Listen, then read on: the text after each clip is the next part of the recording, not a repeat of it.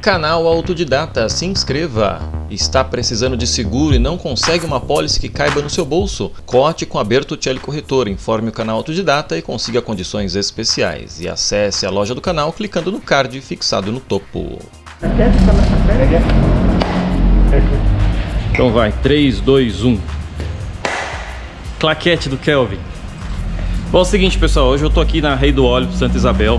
É, vai ser um dia bastante legal. O pessoal já tá de saco cheio de ver Fusion, né? Mas eu tô com a visita do meu ilustre amigo aqui, Fabiano Schmidt. Diz aí, Fabiano. Beleza, meu querido? Fabiano é o cara do canister, né? O cara que deu uma aula de canister para nós aqui e ajudou aí muita gente, né, a solucionar o problema da partida demorada. Então o Fabiano trouxe o Fusion dele, que tá muito bonito por sinal, eu curti muito essas rodas aqui, ó, nesse acabamento aqui. É um V6ão, 910 também, né Fabiano? 910. É, é exatamente da mesma da mesma espécie do meu 910. E o Fabiano vai fazer aqui a limpeza do motor com o flush da Motul e vai fazer a migração para o Valvoline 5W20. E a gente já vai falar um pouco sobre essa viscosidade. Porque em razão da pandemia, o 520 da Motul ainda não chegou. Então o nosso amigo aqui, ó, vai fazer Não é melhor você pôr o funil, não? Não, não. O cara que confia na, na, no taco é outra coisa, né, coxinha? É isso aí.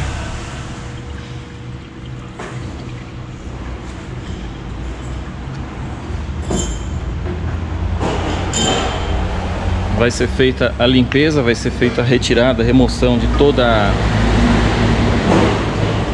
a viscosidade anterior, eliminação de resíduos, deixar o motorzão funcionando por 15 minutos e depois parece que o Fabiano também vai dar um talento na, na caixa de transferência. Isso, fazer a segunda troca, está previsto ser feito. Legal, e diferencial também. Ó. Diferencial também. A gente já deu uma olhadinha no, no nível do fluido do câmbio, eu fiz a troca um ano atrás colocamos o ATF válvula também. E tá tudo belezinha, tá né? tudo em ordem. É pessoal, e o que eu tô achando interessante nesse conteúdo de hoje é o seguinte, o Fabiano ele não aderiu a Motul. Acho que talvez por, em razão do, do preço.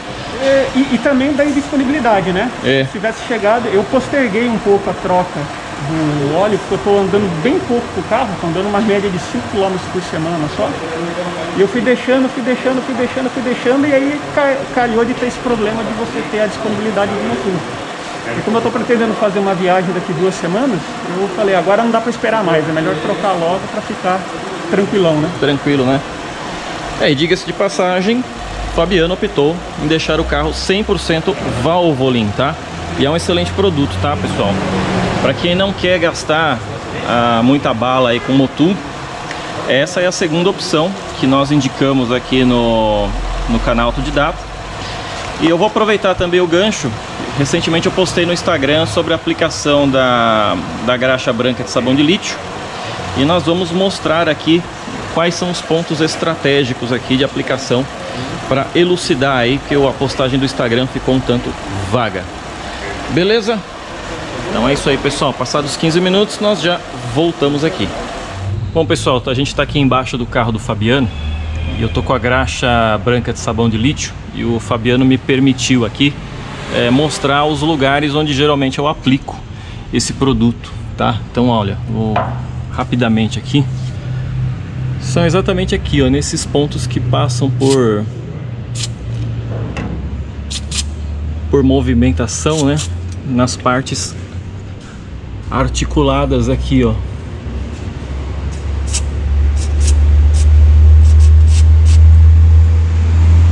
Nas partes sujeitas a movimento.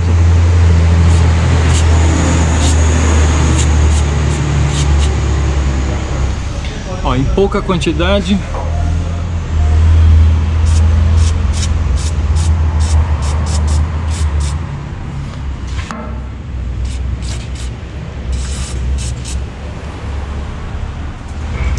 dentro, ó. A graxa branca de sabão de lítio não agride borracha, tá?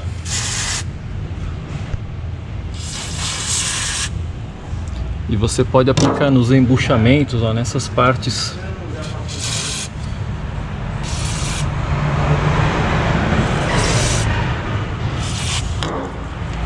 sujeitas a impacto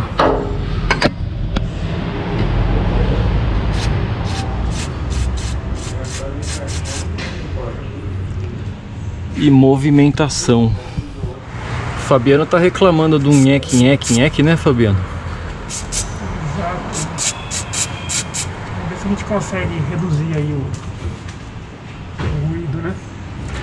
É, e como eu falei para vocês lá no Instagram, o fuso ele tende a criar oxidação aqui embaixo da, da marmita aqui, ó. Eu chamo isso aqui de marmita. Vou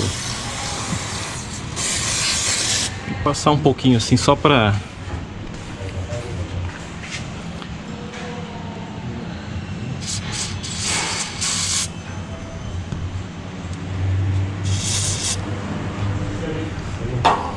aqui ó, nos embuchamentos. Se possível na parte mais alta ó, que aí ele já tá vendo? Ele desce e preenche.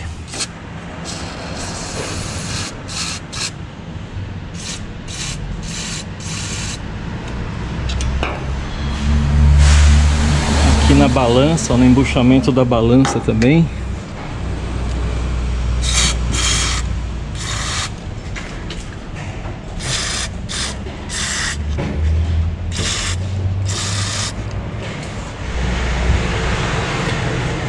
A articulação e aqui no fuso não falta, viu pessoal? Todo o conforto da nave, né Fabiano? É bastante complexo, né?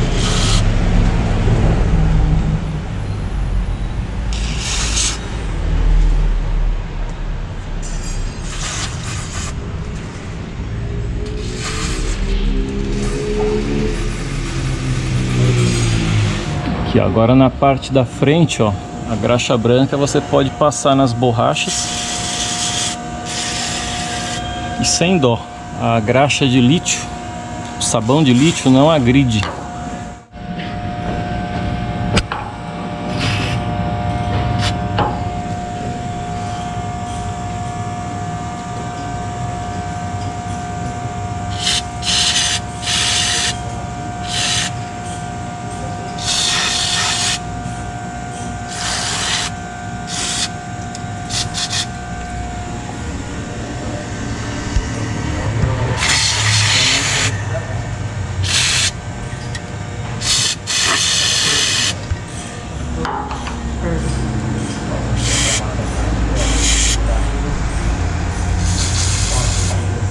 Vai melar mesmo um pouquinho, tá Fabiano? Mas é...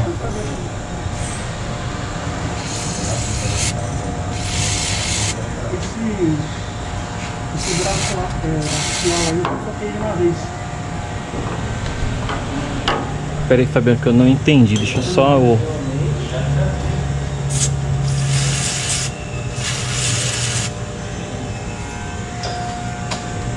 Aqui ó, no, nos pivôs aqui do terminal de direção também, ó.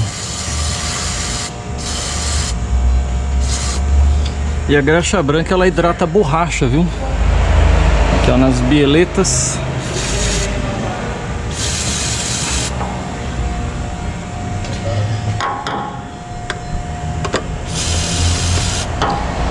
Cara, e não é à toa que o Fusion é tão confortável para rodar, porque o que tem de bucha, embuchamento, não é brincadeira.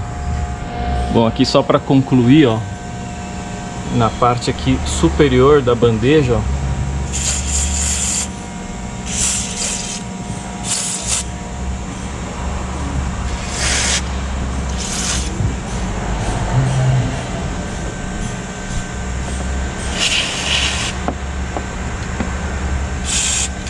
Você já fez a suspensão aqui, né, Fabiano?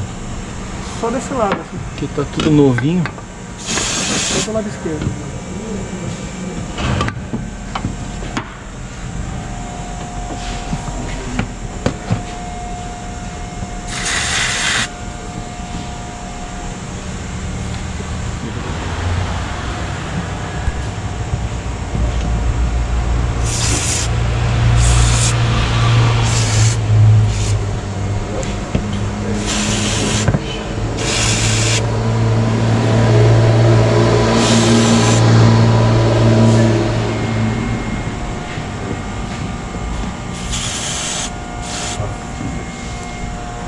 Pode olhar ali no meu ali depois, se você quiser. Pode olhar que tá tudo branco ali embaixo. Ali. Uhum.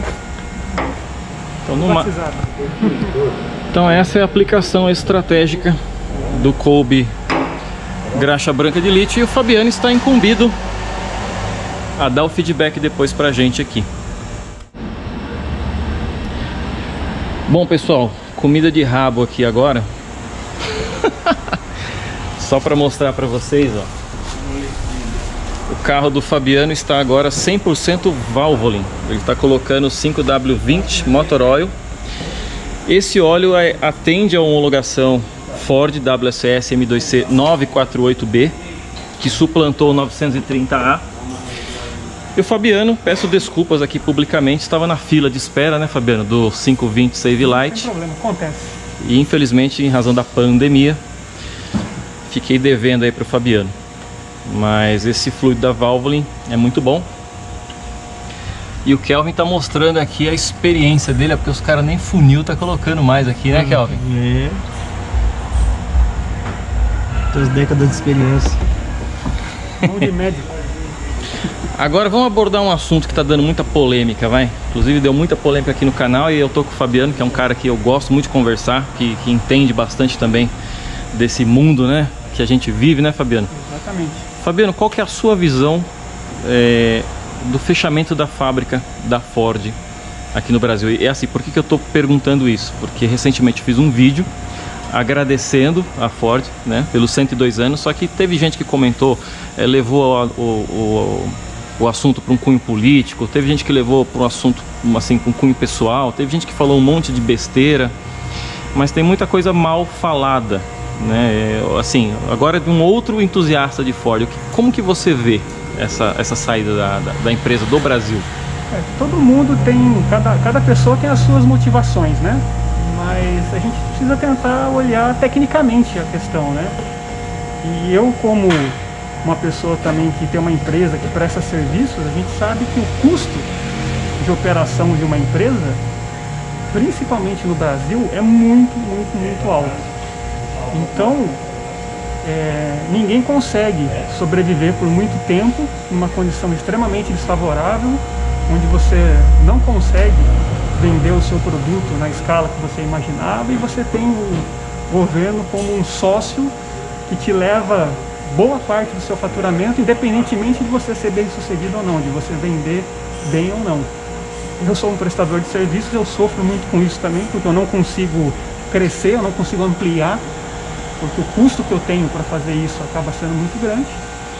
Então, assim, pensando por esse lado, é, é compreensível, é lógico, a gente fica triste pelos empregos, por, toda, a, por todos os stakeholders, né? todo mundo que está, é, é, que tem, que está, é, que faz parte né? dessa, dessa rede, né? desse, dessa, desse conjunto de, de, de empresas né, que, que, estão influenciadas pela operação da Ford, mas infelizmente é, são, são, são negócios. Né? E a, e a, própria matriz americana ela já decidiu há muito tempo que ela não quer mais fabricar carros pequenos, ela não quer mais fabricar carros econômicos, ela quer focar num nicho muito específico. Né? Um, elitizar, ir para elite.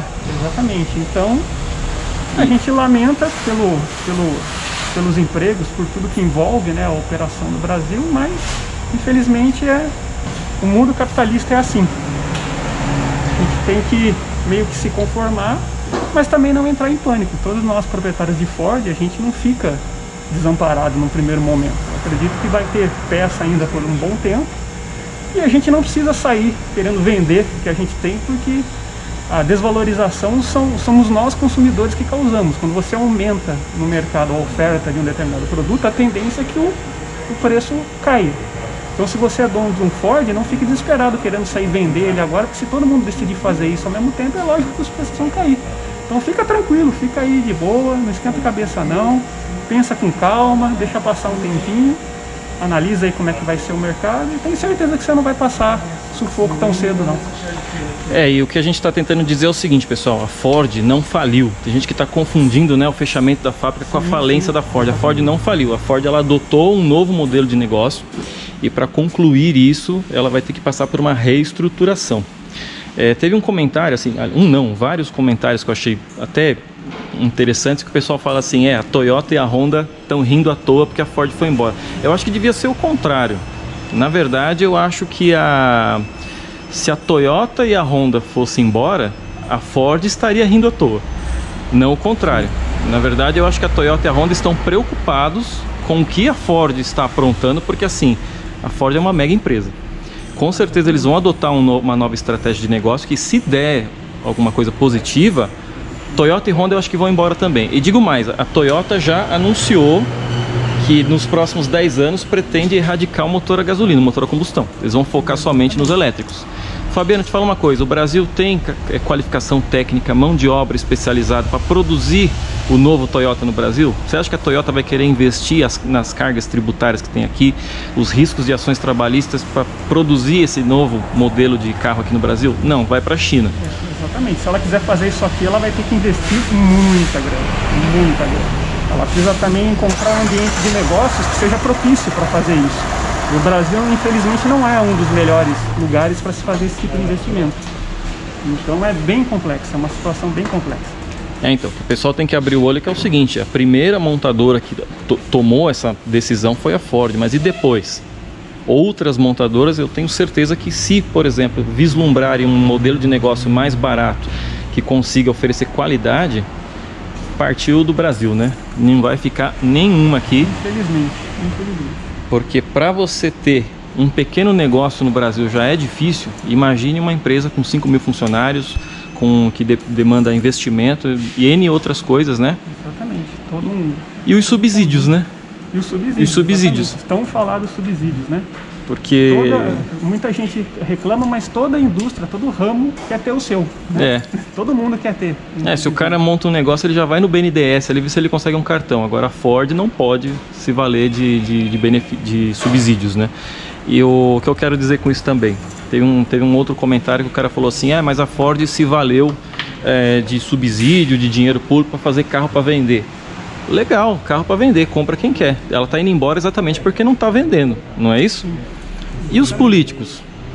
O que, que eles fazem com o nosso dinheiro? Não produzem nada, não vendem nada, porque às vezes o, o, o, o inscrito, e eu estou chamando a atenção de vocês mesmo, porque vocês não conseguem entender.